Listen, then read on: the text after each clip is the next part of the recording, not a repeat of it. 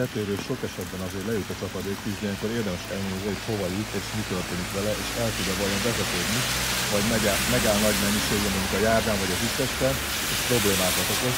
Mindenesetre itt is ez történik, tehát óriási mennyiségű víz halmozódott fel elvezetés nélkül, valamilyen csatornaszem elduglása okán, vagy egyéb probléma okán. Mindenesetre a vízútját érdemes követni, hogy hol halmozódik fel és mit tesz tönkre.